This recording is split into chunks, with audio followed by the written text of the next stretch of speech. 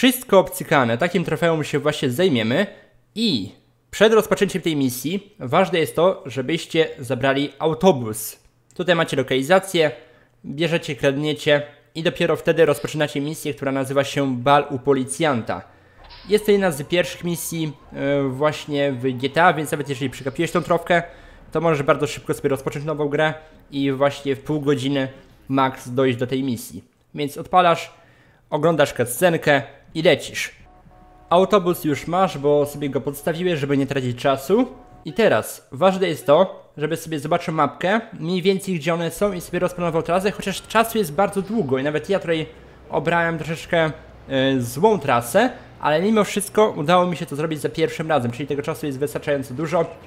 E, zbieracie, bardzo ważne jest to, mimo że możecie je odstawić, to nie odstawiacie. Musicie najpierw zapełnić cały autobus i dopiero wtedy odstawić te dziewczyny na miejsce, bo jeżeli zrobicie to wcześniej, to trofka po prostu wam nie wpadnie. I ciekawostkę mogę wam powiedzieć na temat tej misji. Ciekawostka jest taka, że w tej misji zależy od tego ile właśnie osób dowieziecie, to po prostu jest od tego zależna wasza wypłata.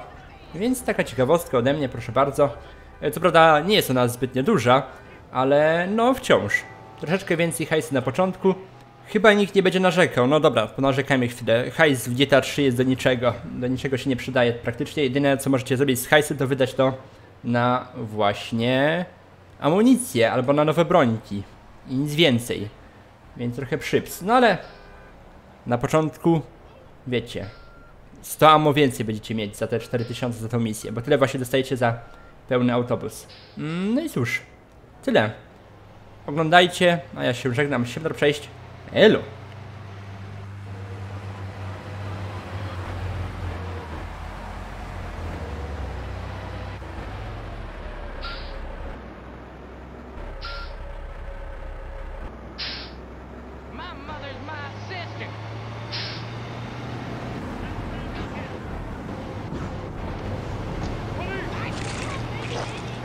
Seven, seven, three, eight, seven, five, down.